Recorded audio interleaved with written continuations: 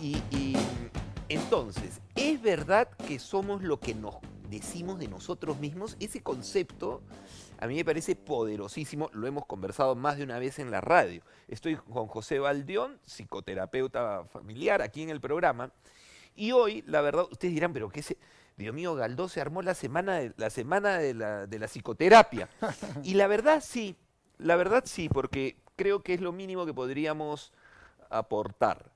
Eh, el programa cierra su ciclo mañana, ha sido un, hermoso ciclo, y, me provocó, nos provocó al, equipo, y a mí obviamente, eh, cerrar con, con ciertos aportes, a lo mejor te pueden servir. Y el de hoy tiene que ver con esto que hemos conversado, repito, más de una vez. Somos o sea, es real, tiene base científica, porque esto no es un floro de motivación, ¿no? Porque si no, pues cualquier, no, no, no, se, se, cae. Los seres humanos somos lo que nos contamos de nosotros mismos, somos la conversación que tenemos de nosotros mismos, que es el efecto Pigmaleón. O, o estoy hablando... digo... ¿Cómo estás? En un sentido, sí. Ok, a ver, okay. vamos. Ante todo, buenas noches a los oyentes y televidentes. Gracias por la invitación, Carlos. Eh, la frase soy lo que me cuento de mí. En un sentido sí y en otro sentido no. Ok. Ok. Ok, a ver. Eh, para efectos prácticos somos lo que pensamos.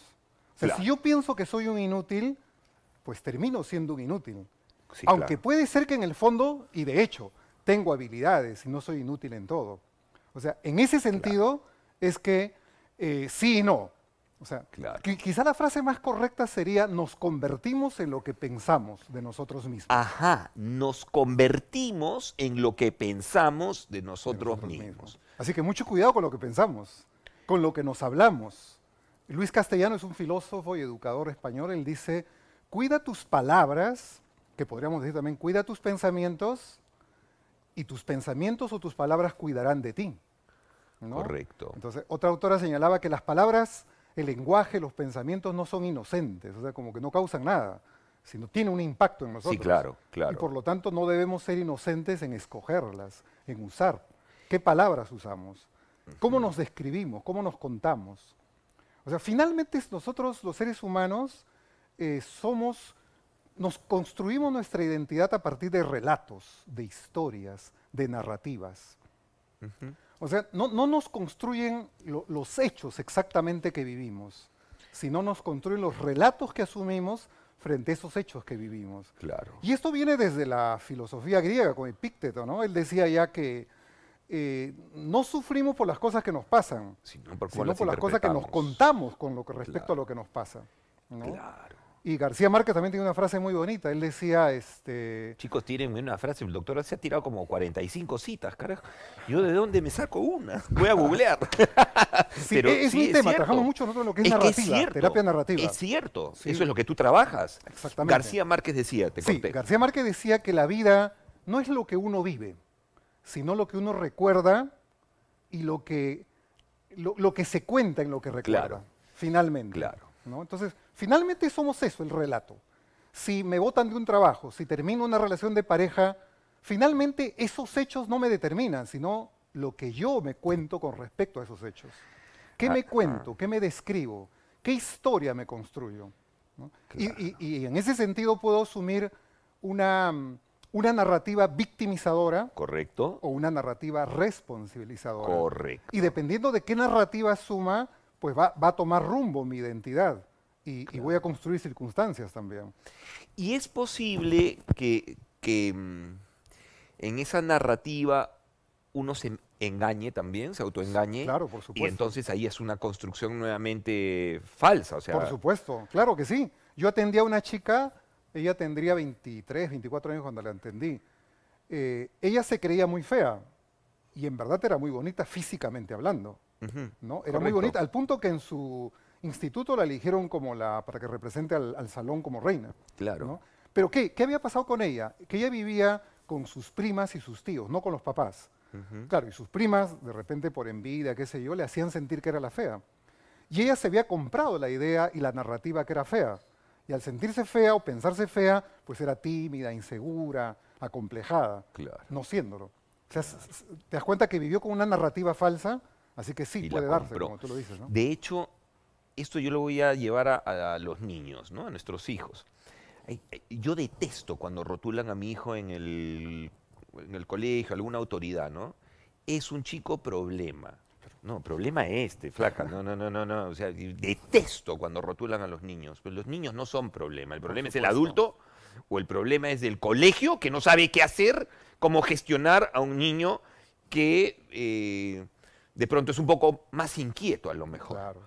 o tiene, eh, está por arriba el promedio en el tema de la concentración, no sé, por decirte algo, pero, pero los comienzan a rotular. Claro. El niño problema, ay, el dif- ay, qué pesa. Se castiga lo diferente.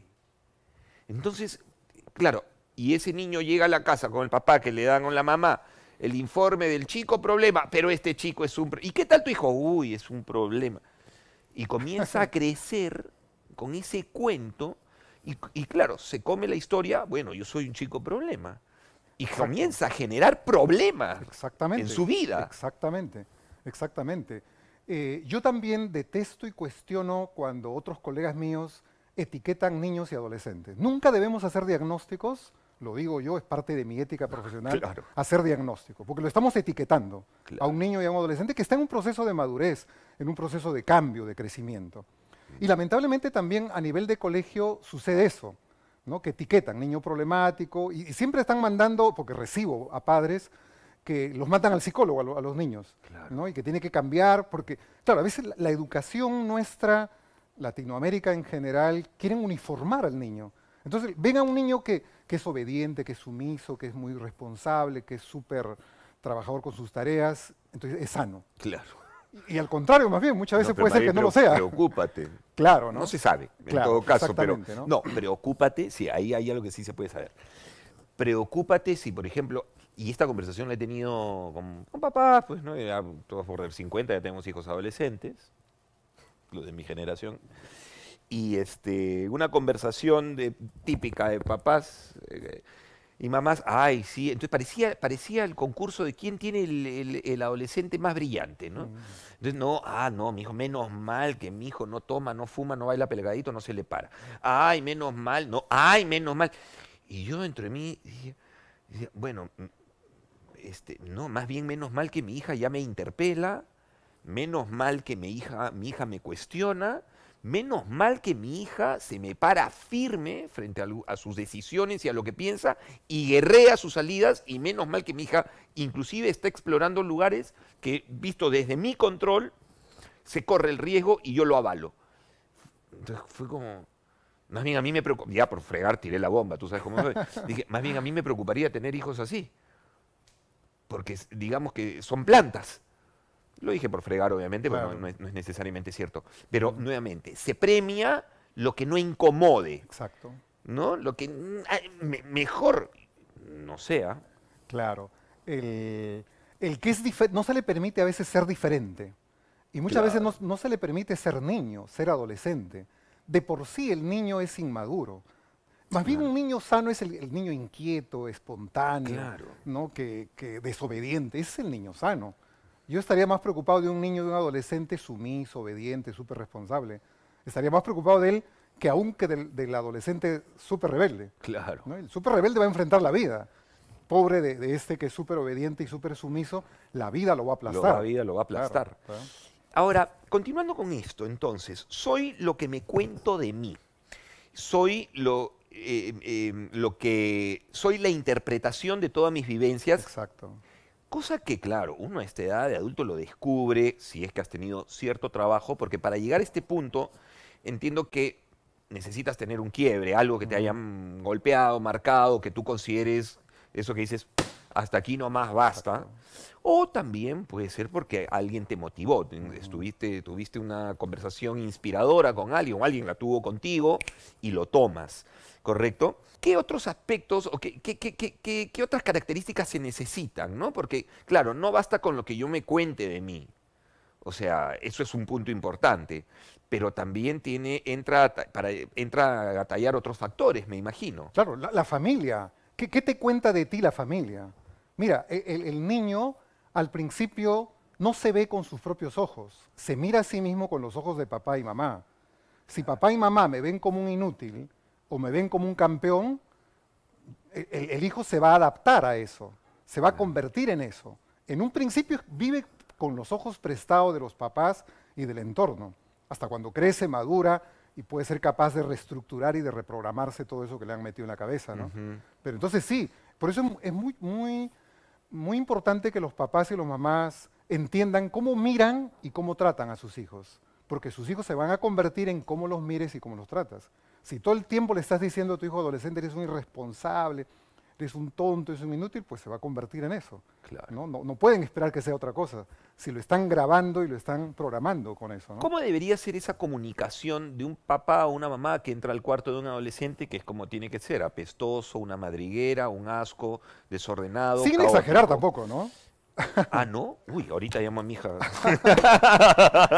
Todos los extremos, el, súper ordenado está mal. Y el súper desordenado también está mal. Seguro, seguro que sí. pero ¿cómo debería ser la dinámica? Es decir, ¿eres una desordenada? ¿Eres un desordenado? O, eh, o sea, porque el eres ya le estoy chuntando algo. Claro, exactamente. ¿Cómo, cómo manejo la comunicación? Ok, ok. Muy, muy buena pregunta porque esto me lleva al tema de las habilidades sociales. Habilidades sociales que debemos aprender a desarrollar tanto en la vida conyugal como en la vida con los hijos.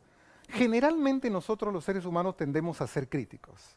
Entonces siempre estamos criticando, eres un desordenado, eres un responsable, eres así, eres asá. Entonces, esa es una habilidad, inhabilidad social. Eso lo que genera es más distancia, conflicto, choques en la relación. Correcto. Entonces, ¿qué es lo sano? ¿no? Hay, hay, un autor, ¿no? Godman, que ha trabajado mucho lo que llama los cuatro caballos del apocalipsis, eh, en las relaciones eh, de pareja, pero que son aplicables en las relaciones humanas en general, en la que él señala que uno de esos caballos es la crítica. Claro. Entonces, pero él enseña que, que además del, caballo que, que, es una actitud insana, hay un antídoto frente a eso. Entonces, el antídoto frente a eso es el reclamo asertivo.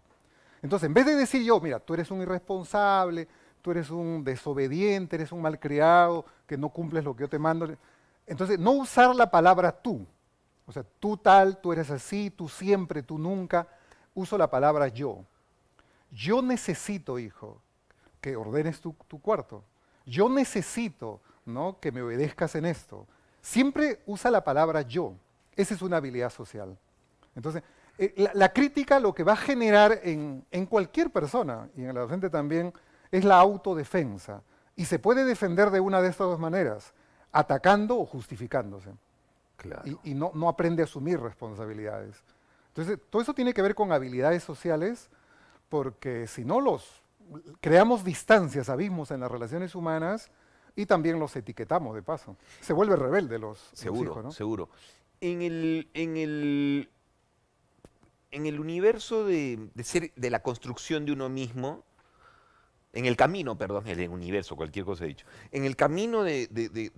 no, está bien, en el sí, universo, en el, universo, en el mundo de uno mismo, ¿no? Claro, en, el universo de, la, construcción de uno mismo, que es algo que eh, comienza desde los cero años, me imagino, eh, lo que dice el entorno, como tú bien dices, lo que uno ve de sí mismo, em, las habilidades que vas adquiriendo, en fin hay otro factor para ser quien quiera ser, no solo en tus formas de ser, sino en tu vida laboral, por ejemplo, una meta. Em, hay algo bien interesante, a ver qué opinas, ¿no? que del 100%, el 80% para lograr ser quien quieras ser, con respecto a una meta, eh, pasa por em, disciplina, por la mirada que tú tengas de ti mismo, correcto, por, por cómo la, narrativa de ti mismo, la narrativa de los problemas, tu historia, por la perseverancia, por la constancia, por el ahínco y el deseo que tengas por llegar a esa meta. Y hay un 20% solamente que es, que es importante, indudablemente, que, donde está el conocimiento, la sabiduría, el conocimiento, la inteligencia entonces ahí tú dices, pero ¿cómo este que, es un, que era un salvaje llegó a esto porque lo quiso tanto, tanto lo deseó, tanto se enfocó en eso, tanto, estuvo desayuno, almuerzo y comida en eso y estuvo tan parado en sí que lo logró. Claro. ¿Eso es así, José? ¿Así funciona? Que- creo que el- el- la perseverancia, la tenacidad eh, obtiene grandes logros en la vida. O sea, no hay que negar eso. ¿No? Claro. El conocimiento tiene su lugar. Indudablemente, La- importante. las circunstancias también tienen su lugar, pero evidentemente sin la tenacidad. Y la tenacidad está, está relacionada con una de las tres grandes facultades humanas. Todo ser humano tiene tres grandes facultades. Tiene mente, emociones y voluntad. En la medida en que los tres funcionen bien, yo y mi Claro. identidad funcionan bien. Y dentro de ellas está la voluntad. Entonces, la tenacidad está relacionada con la voluntad. O sea, de nada sirve que yo a nivel emocional desee muchas cosas si mi voluntad Si no me muevo. a cumplirlo. Claro. O sepa muchas cosas de lo que voy a hacer, pero tampoco mi voluntad me ayuda a hacerlas. Soy una lumbrera, pero tengo miedo. Claro. No doy pasos. Exactamente, sí, ¿no? Y hablando de eso, Carlos, mira, hay, y volviendo a lo de las narrativas, hay tres grandes historias o tres grandes narrativas que de alguna manera guían nuestras vidas. La narrativa sobre mí mismo, o sea, ¿qué, me- qué me digo de mí? Pero también hay una narrativa sobre qué me digo de los demás. Y finalmente una narrativa, ¿qué digo con respecto al mundo? O sea, ¿qué me digo con respecto a mí mismo? Puede ser una narrativa que yo construya, yo soy yo, y desarrollo autenticidad, y soy auténtico. Correcto. Algunos desarrollan una narrativa de yo quiero ser otro yo. El tipo narcisista, por ejemplo, ¿no? Claro. Vive con un yo ideal y no con un yo real. Y ya ni hablar del psicótico que vive con un yo irreal, ¿no? Y que está afectado en su narrativa auténtica, ¿no? Y la narrativa del yo valgo tiene que ver con en su relación con los demás. Yo valgo, no me siento más que unos, tampoco me siento menos que otros. Entonces me posiciono en- el mundo con esa narrativa de yo valgo. No valgo menos, tampoco valgo más. Yo Claro. valgo. Y la otra narrativa es el yo puedo. O sea, frente a las demandas de la vida, frente a, a lo que la vida me exige, entonces, ¿qué narrativa tengo? ¿El no puedo o el yo puedo? Entonces, si yo tengo una narrativa de yo soy yo, yo valgo y yo puedo, entonces construyo una identidad saludable. Y, y eso es básico que se va a ir construyendo sobre todo en, en la infancia y en la adolescencia a partir del marco familiar en que hemos vivido. Pero la buena noticia es que si nuestros padres fallaron, y Uno muchos siempre. fallan, Fallamos todos. Sí. Que cuando yo soy adulto y empiezo a crecer, yo puedo reestructurar. Mira, Sa- Salman Reich- Ra- Rushdie, el de versos satánicos, tiene una frase muy, muy bonita ¿no? con las narrativas. Dice, "Eh, aquellos que no tienen el poder sobre sus relatos que dominan sus vidas, o sea, el que no tiene el poder sobre sus relatos, sobre mis narrativas, sobre lo que yo pienso, esos relatos que dominan mi vida, eh, soy el más impotente de los hombres y de los seres Claro. humanos. O sea, yo tengo que tener el poder de poder transformar esos relatos, reestructurarlos, reformularlos, cambiarlos, educarlos. Eso es lo que me hace crecer. Yo no soy lo que hicieron de mí, yo, hago- yo soy lo que hago con lo que hicieron de mí, dijo este ot- otro autor Yo no también. soy ¿no? lo que hicieron de Claro, mí, ¿no? yo soy lo que hago con, lo, que hicieron, de, mí. mí. Esta conversación que, que- que- que muchos están viendo ahorita, claro, a mí me puede hacer sentido porque tengo evidencia en mi vida de haber cambiado mi narrativa. Yo logré cambiar, he logrado, o sea, hay muchos aspectos, muchas narrativas en nuestras vidas. creo que he logrado cambiar las más importantes, ¿correcto? Eh, o reinterpretar las más importantes, lo logré ver. O sea, es como, cuando te cambias la narrativa, no pasa porque te cuentes un cuento diferente, ¿ah? Ojo, no pasa porque te engañes. No va por ahí. Claro. Cambiar la narrativa no es, me hago el idiota con esto. Este, no, no. No, no. Pasa porque logres ver el lado B, porque todo tiene dos caras, ¿correcto? Logras ver el otro lado. Dices, ah, pero de, por esto me pasó esto, en fin. Eso, eso es punto uno. El siguiente punto tiene que ver con... eh, Bueno, hay narrativas que, que todavía no puedes cambiar a veces. Y, y- y también va de eso la vida. O sea, van a haber cosas que, no, que todavía no te van a entrar, que todavía no vas a poder, en fin. Y- Estás usando el no, ¿ah? ah, es cierto, es cierto, es cierto. Es cierto. ¿Qué, qué, qué acendrado lo tenemos, no? Claro. Hay, hay narrativas que todavía cuesta transformar. que E- cuesta Esa palabra que has usado, el todavía vale. Correcto. Ese el no, todavía. el todavía por O sea, el no. claro, Sí, en vez de todavía, decir- todavía es una. Claro, en vez de decir no he acabado mi carrera, todavía, Todavía, no acabado claro. no cierra posi- posibilidades. Exactamente, exactamente. Sí. Es importante cambiar nuestro lenguaje. A lo que iba, a lo que quería llegar, que ya- me acordé. Hay quienes nos están viendo, de hecho, eh, y dirán, sí, pero, y voy a usar el no que deben estar usando, yo siento que no puedo. Y hay personas que honestamente no sienten, porque sí pueden, que no pueden, porque están en un estado depresivo del carajo, porque, o sea, yo he estado en ese lugar, a mí no me lo han contado, y cuando venían y me lo decían, sí se puede, yo decía, yo dentro de mí escuché y decía, claro, para ti es fácil, tú no estás comiéndote el sable que yo, o no estás sintiendo lo que yo siento. Y entonces, entiendo que este tipo de conversaciones, para quienes estén habitando ese lugar tan oscuro del no, tan cerrado, donde ya no hay posibilidad, este tipo de conversaciones eh, los ahuyentan, los, los- los distancian más de su posibilidad, desde lo que sienten, ¿correcto? Ya, ¿cómo yo quiero a esas personas hoy tirarles una, un- una chiquita, una chiqui de la que se puedan agarrar, claro. porque siempre te puedes agarrar, siempre puedes hacer algo por ti, pero repito, todo esto suena a charla de motivación Claro, cuando claro. no lo vibras. Exactamente, sí. Y es válido, si tú estás viéndonos y, te, y sientes que todo es una mierda, es válido que no lo vibres. Pero así como es válido eso, también hay otro lado, y por eso está aquí en el programa José Valdione. Él sabe de esto. Esta es una chiqui de la que te puedes agarrar, porque así como sientes que todo no es terrible, también buscas una, una ahí dice, de acá me agarro. ¿Cuál es esa? Ok.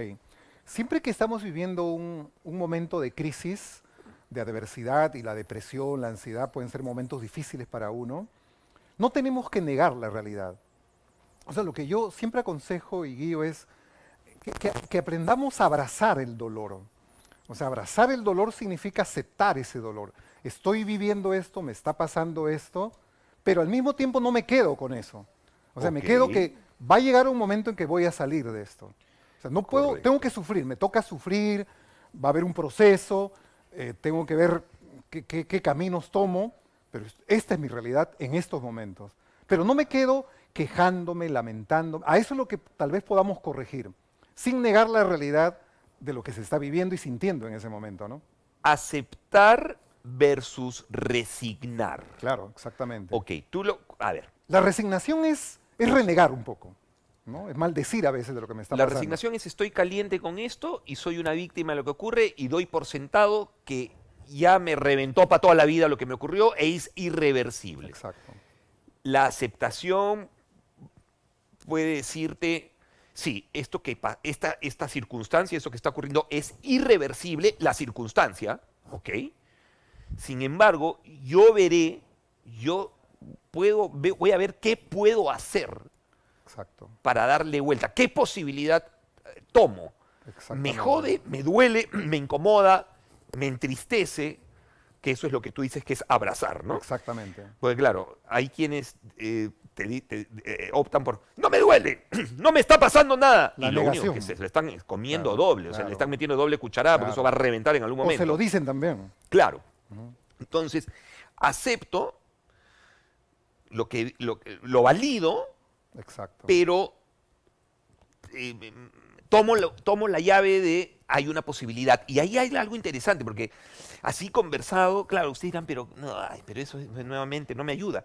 Pero es que, a ver, algo pasa en el cerebro, ¿cierto? Esto es lo importante, esto es lo que, este es el soporte, el sustento de lo que te estamos diciendo. Porque, claro, si no queda en una frase linda, no, cuando tú eh, te paras en la aceptación y en la posibilidad, en el cerebro, ¿qué pasa? ¿Qué pasa en el cerebro? Y es ahí donde entra a tallar, donde se mueve todo, donde cambia el juego. ¿Qué ocurre en el cerebro en ese momento? Claro. eh, cuando aceptamos una realidad, nuestro cerebro se calma. ¿no? Ya, La- primero. la- La, la- amígdala Claro, se deja de estar Se activa, desinflama, emisión. por Exactamente. decirlo de alguna manera. Exactamente, ¿no? Ok. Y entonces ahí nos da, da paso, acuérdate que la amígdala, emoción y rabia, no, apaga nuestra, ra- nuestra razón. En cambio, cuando calmamos la amígdala, Ya. entonces yo puedo pensar un A poquito ver, más. lo aterrizamos nuevamente. Esto para que lo que cuando hay una circunstancia de miércoles, algo terrible que se está pasando, naturalmente la amígdala, esta parte del cerebro, se pone on fire. Claro. Pa, pa, pa, pa. Y cuando se pone en fuego, hay un incendio forestal en esa parte del cerebro, automáticamente apaga a los otros jugadores que son los que nos permiten pensar, ¿correcto? Los otros jugadores se achican, los otros duendes, los, los otros, los otros enanitos se apagan. Es decir, eh, se cansan. Sí. Entonces, lo que necesitas hacer es tú apagar tu amígdala. Y para eso hay dinámicas. Claro. Desde técnicas de respiración, Exacto. que las hay, que probadas y comprobadas, desde di- dinámicas de mindfulness, atención plena, meditación. O sea, hay formas, ¿correcto? Correcto. Y en ese momento, cuando tú apa- apagas parte de ese incendio forestal, o lo bajas, lo enfrías un le bajas Claro, unos graditos, exacto. automáticamente los otros jugadores se reenganchan. Salen a la cancha. Ya. O sea, esa es la explicación, gente. No, entonces, de manera tal. Ahí son las narrativas no- nuevas. Eso, es una se genera una nueva narrativa y ahí puedes cambiar. Mientras estás en modo amígdala, modo rabia o miedo, está apagada tu parte racional, que es donde se ubican las narrativas que vamos a construirnos. Sí. Entonces, por eso necesitamos bajar eso. Salir un poco del modo amígdala, del modo rabia y miedo, y entrar al modo racional un poco. Sí. Entonces, sí, e- es importante, mira, eh, eh, yo siempre le digo también a los pacientes que no, no es tan importante lo que yo siento. Yo puedo sentirme que, que, estoy, que, no es- que estoy triste, pero yo puedo decirme, voy a ponerme más adelante más, más, más contento. O que voy a hacer, Claro. o sea, reconozco la tristeza Claro. y digo, bueno, pero yo sé que tal canción me anima, me la sube. Exacto, Trac, me la pongo ser. 20 veces, por Exacto, último. Hago, a- algo hago. Exacto. Tomo medidas al respecto, ¿no? Y a veces, cuando uno está en un proceso depresivo, yo lo sé, el algo hago es como remar en cemento, pero lo tienes que hacer. O sea, lo tienes que hacer. Claro. Necesitas hacerlo. Y eso, y la diferencia entre hacerlo y no hacerlo son tres minutos, cuatro, Claro. que te cuesta los primeros cuatro o cinco minutos, te sientes hasta el más estúpido de la tierra y de repente entraste. Claro. Todo, todo, todo trastorno, Carlos, tiene que ver con, con una herida psíquica. Una herida psíquica que implica una herida emocional y una herida en nuestra narrativa. Ujú. O sea, nuestra mente y nuestras emociones quedan dañadas cuando sufrimos algún tipo de trastorno o algún problema psicológico. Mente y emociones están dañadas. Entonces hay que trabajar en ambos lados allí. Claro. ¿no? En, en el momento de depresión, claro, dependi- va a haber momentos de depresión en que estás en una crisis emocional y estás apagado a nivel racional, pues ya hay que trabajar en las emociones. Pero hay otros momentos en que ya tu mente funciona más. Entonces hay que trabajar ahí en la mente. Sí. Hay que ir corrigiendo ambos. Eh, específicamente en la depresión, la culpa y la amargura son los dos insumos básicos. Y hay que trabajar en esas heridas. Y, y- y trabajarlo con las narrativas nuevas que, va- que vayamos implementando en el cerebro, la persona va a salir. Correcto, correcto. Quiero ahora aprovechar, toma un segundo. ¿Cuál es el cuento conmigo? ¿Cuál es el cuento que te, que te haces respecto a ti? ¿Cuál es la historia que te cuentas de ti mismo? Eh, desde ahí tú vas a poder construir muchas cosas. Tú puedes, como lo acaba de decir eh, José, José Valdeón, psicoterapeuta, eh, tú puedes rediseñar siempre tu historia, tu vida. Lo puedes hacer. Em, primero porque te lo mereces, ¿correcto? Eso es lo primero. Porque eh, no, no podemos vivir dos graditas abajo de lo que esperamos de nosotros mismos. Hay quienes, eh, desde, su, desde su narrativa, dicen, bueno, yo quisiera hacer esto, no sé. Y de ahí dicen, no, pero no voy a poder, porque no, yo de verdad en el colegio era un huevón, me decían que no podía, no, porque no, mi mamá, mi papá, soy un... va-". Mejor le bajo dos peldaños, dos graditas a mi objetivo, a mi meta, a mis deseos, a mi sueño. Y vives y comienzas a vivir desde ahí dos graditas abajo en todo. Y además, bueno, si no pasara nada, si no sintieras nada, bueno, ya está. Pero no, lo peor es que tú sabes muy dentro de ti que vives, habitas en tu ser dos graditas abajo siempre y automáticamente se instala en ¿y qué hubiera sido de mí si? Y vives con ese clavo atravesado. Finalmente pasa la vida, llega el momento eh, este, eh, que va a llegar siempre, que es la muerte, y la clásica. eh, dejas el gran consejo para tus seres queridos. Debís, haz todo lo que quieras, no dudes.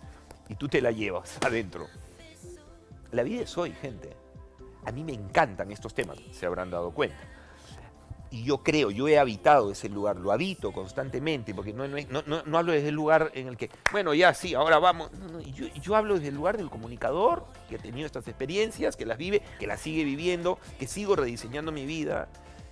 y, me he documentado mucho, mucho, mucho, mucho para generar estos espacios de conversación, como el de, pasado mañana, en el auditorio del Colegio Médico del Perú. Cuatro horas, donde con una serie de dinámicas, conversaciones, preguntas, vamos a descubrir eh, tu sueño. ¿A dónde quieres ir? ¿Quién quieres ser en la vida? Eh, ¿Qué te detiene? ¿Cuál es el cuento? ¿Cuál, ¿Cuál, es tu narrativa? ¿Cuál es el cuento que te, que te traiciona? ¿Mm? salir de ese lugar de víctima donde todo le ocurre, a mí me pasa de todo. A mí, no me, a mí me pasa lo que yo quiero que me pase. Así de simple. Planifica, tus objetivos, tus metas, tus sueños. Y cuando tú comienzas a pararte en ese lugar, descubres que tienes poderes, superpoderes, les llamo yo, todo el mundo le llama superpoderes, en realidad son confianza, voluntad, disciplina. Y es ahí cuando en el cerebro se activa toda esta maquinaria que nos ha contado José Valdeón, que te hace, que te comienza a generar, a dar pasos, ocurre y te impulsa. Y, esta maquinaria además que frente a eh, la, no, voy a decirle adversidad, pero frente al hecho que no esperabas, que te incomoda, al reto, te dice, sigue para adelante. De eso va. Un mindset hay que reformatearnos. La vida es hoy. La vida es hoy. Toma acción hoy sobre tu vida. ¿Qué esperas del próximo año en cualquier plano de tu vida? vamos este sábado a construirla juntos, a comenzar a mirarla. Yo lo que deseo que ocurra, y estoy seguro que va a ocurrir, porque no es la primera vez que hago un taller, es que lo mínimo que yo voy a lograr es que salgas incómodo el sábado. Eso es lo que quiero, que salgas tan incómodo, tan, tan con el clavo, que digas, carajo, yo tengo esta posibilidad de ser quien... Eh". Y ahora no me puedo engañar, porque una vez que tú ves tu posibilidad, ya no hay marcha atrás. Ya la conversación es uno a uno, es contigo. Y puedes engañarle a quien quieras. Pero como dice el dicho, ¿no? A la almohada no se le engaña. Y con eso vas a poder comenzar eh, a pararte en ti. Así es que de eso trátalo este sábado. Los espero. Tómate cuatro horas, de 9 a 1 de la tarde. Cuatro horas para, ir a tu interior. Vamos. Ah, si no puedes hacerlo virtual presencialmente, también va a ser virtual en vivo y en directo. Hay un código QR aquí, ahí puedes tener acceso para tener el acceso al, virtual o al presencial. Y compras tu, boleto, entrada, silla, como quieras llamar. Así es que no, te lo pierdas, es un hermoso taller, no porque lo dicte yo, sino por, lo que vamos a descubrir en estas, en estas cuatro horas. Bueno, muy bien. Está Bueno, bueno, bueno. ay, ay, ay. Em, vamos, tú sabes que acá al programa llegan muchos casos, mandan videos, este, eh, contándome sus casos del corazón, que parece cacha. Yo, a veces, no, pero como es un bloque que hago en la radio, en el programa que tengo, oxígeno, qué sé yo, eh, mandan videos aquí. Así que ya que estamos contigo, eres psicoterapeuta, un casito al menos, vamos a, te voy a pedir que nos ayudes a resolver. A ver, ¿tienen el caso que nos mandaron el día de hoy? A ver. Hola Galdós, te quiero contar algo que me está pasando. Hace unos meses entró una chica nueva al trabajo. Ella es simpática, es bonita y siempre para sonriendo. Así que atrae a todos de la empresa, especialmente a mí. Es por eso que hace unos días yo le invité a salir. En la cita todo estaba bien, solamente que ella era bastante coqueta, pero eso no me sorprendía mucho porque es su forma de ser. Lo que me sorprendió bastante es que al despedirnos, ella me da un beso en la boca. Yo ahí me quedé totalmente helado porque no sabía qué hacer. Simplemente nos despedimos y ya, me fui a mi casa. Llegó a mi casa, estaba con el celular ahí un rato y me llegó un mensaje de ella diciéndome te amo, con varios corazones. Yo me quedo como que frío, como que ¿qué está pasando? Eh, no entendía nada y simplemente ya pensé que era una broma y me fui a dormir. Después, al día siguiente, yo voy al trabajo, como cualquier día, y todos me empiezan a felicitar. Porque ella le había dicho a todos que ya estábamos en una relación. No sé qué hacer, por favor, Galdós, ayúdame. Ella me gusta, es bonita, pero su rapidez me asusta. Presen- preséntamela, porque es de las mías. Este. No, bueno, o sea, lo han abordado al muchacho. Ni él lo puede creer. Y ya la chica dio por sentado. O sea, la chica fue, lo besó, lo chapó, ya lo, ya lo casó, ya lo enamoró, ya lo comprometió. Y ni siquiera lo han le han contado el, el cuento. Ni siquiera lo han involucrado. ¿Cómo hace uno para...? Bueno, ahí hay 3.000 banderas rojas, ¿no? Claro. Claro, siempre que vemos un caso tenemos que ubicarlo dentro de un contexto. Correcto. un contexto personal, un contexto de historia de ella, ¿no? Sí, claro, e- hay esa rapidez con la que está actuando. Eh, Podría... Claro, me, me podría hacer pensar de. Es muy típico de los que tienen, este, sobre todo chicas de TLP, del borderline, Sí, sí, claro. ¿no? Que son muy rápidas, muy inestables. Hoy día lo, está que lo, lo ama y lo endiosa, mañana lo, va, lo, lo manda al infierno. ¿no? Correcto, correcto. Entonces son muy impulsivas, son de rápido. desde el impulso está Exacto. actuando. No, no, no miden mucho su- sus emociones, las desbordan. Correcto. ¿no?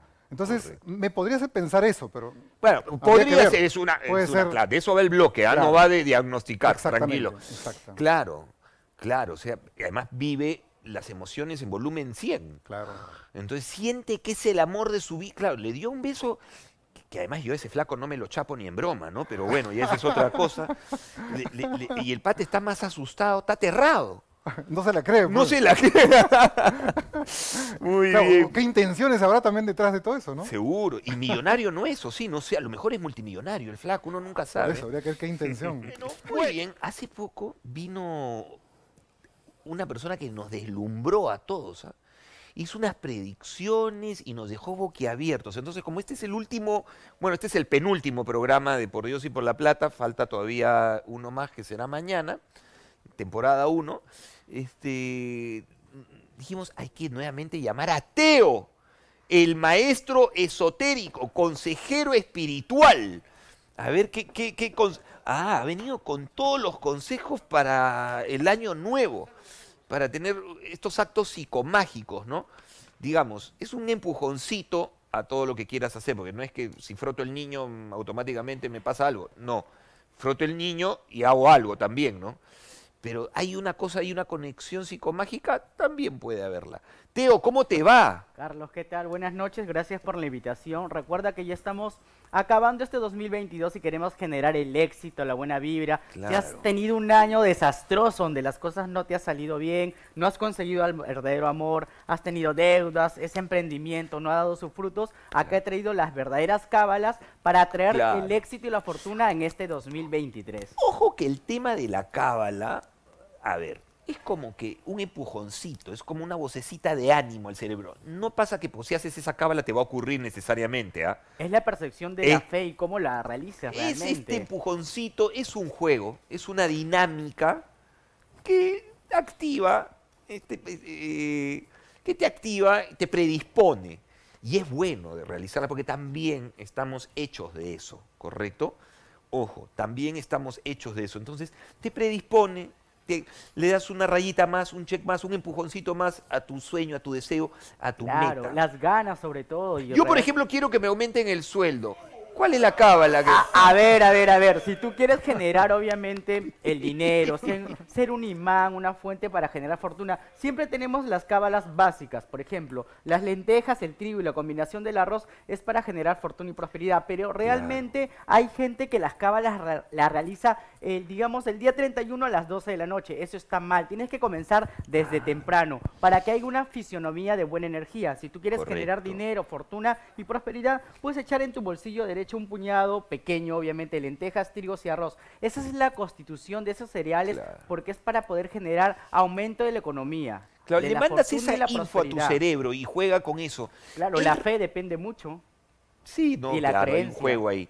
Este, pero repito, no se anclen solamente en eso, porque si no se van a engañar, va a ser un autoengaño y luego van a decir, Teo no, me dijo la verdad. No, pues. No funciona. Claro. No es Cómo tú lo hagas y de repente que es sobre todo con las ganas, la persistencia. Y si también tú quieres alejar, digamos, a esa persona que es muy envidiosa de tu vida, que te causa conflictos, que te meten problemas en dificultades dentro del trabajo o también que quizás quiere meterse en su relación, lo que yo siempre aconsejo, una cábala de la piña. Ojo, ¿Qué me la cábala ¿Qué de la piña. la piña? ¿Qué es lo que tienes que hacer? Esta piña obviamente es una fuente natural que es para eh, destrabar, destrancarte, eliminar los acontecimientos negativos. En esta piña, obviamente, seas le realizas un corte. No sea piña, claro. Colocas la fotografía de la persona y siendo las 12 de la noche tienes que lanzarlas desde lo más alto de tu piso. Es para ahuyentar y alejar a esa persona que piñazo ahí. crea dificultades en tu vida. Teo, te tengo que hacer la siguiente pregunta, ya que tú eres un hombre conectado con la videncia. Así es.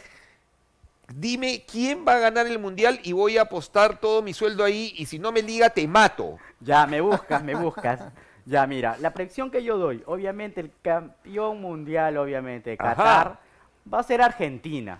Ya está, vamos, Argentina. muchachos, Lo vamos, digo acá y que quede grabado, mira. Argentina. Argentina. Así que a realizar esas mejores apuestas. Ya me te- buscas. Te, busco, Teo, ¿ah? te busco y te parto en dos. No, a lo mejor eso te gusta, mejor no te busco. Galdós. Galdós, recuerda que A lo yo- mejor le gusta eso, no, mejor no te busco, mejor no te busco. No, no, no, me abstengo. Teo, Argentina. entonces. Argentina, no es la, la predicción que ya mencioné Tú que ya la has dado, ¿no? El alcalde también de Lima.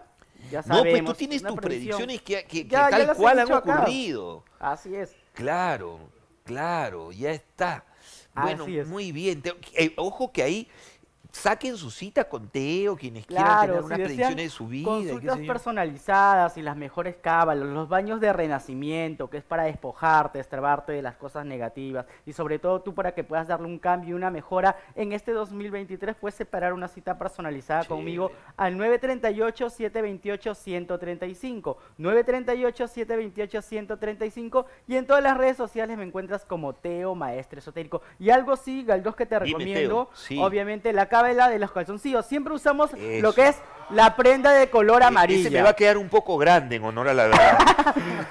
Si tú obviamente quieres atraer, obviamente, te ha ido este año desastrosamente mal, no has conseguido amor, no hay fortuna y Sí. prosperidad, una prenda de color negro. Negro. Simultáneamente Ah, le tenemos miedo, pero el negro representa la protección contra actos negativos. Chévere. Esa es, ah, esa negro. es Mira, mira, el no tenía negro. idea. El negro te da poder. Tomo tu recomendación, ya que Teo me ha recomendado a mí, yo también, yo te puedo también hacer una recomendación de onda. También, también. hazlo. No vuelvas a venir con ese saco. güey. ¿Por qué? Ah, qué feo. Mentira, mentira. Teo, muchísimas... parte del office. No, buen look, buen look, buen look. Teo, entonces, calzoncillo amarillo. Negro, negro, negro, negro, Es que calzoncillo amarillo es el común, ¿no? Tienen que hacer nuevas cábalas, sobre todo, porque pues, hay cábalas comunes, pero siempre la energía recuerda que tienes que estar con movimiento. El negro te trae protección. Negro te protege, el negro te protege. Así es, eso, Ahí está. es cierto. de todas maneras, Teo, un abrazo, gracias. Muchas gracias. quieran tener una sesión contigo, escríbanle al TikTok eh, o al 938 728135 938 972-8135. Muchas gracias, muchos éxitos. Felicidades, Teo, gracias, gracias. Bueno, se acabó el programa el día de hoy. Penúltimo programa de Por Dios y por la Plata. Este, claro, dos soles. Eh, José, muchísimas. Quienes quieran tener una conversación, una sesión con José Valdión, psicoterapeuta familiar, por favor anoten el número. Todo, por la radio también. ¿Ves que terminamos de hablar el bloque de la radio? Toma- Carlito, ¿quién es? No, la- todo bien, ¿eh? Todo bien. Pero ya 10% me va a corresponder. ¿ah? Porque- no, Tu comisión.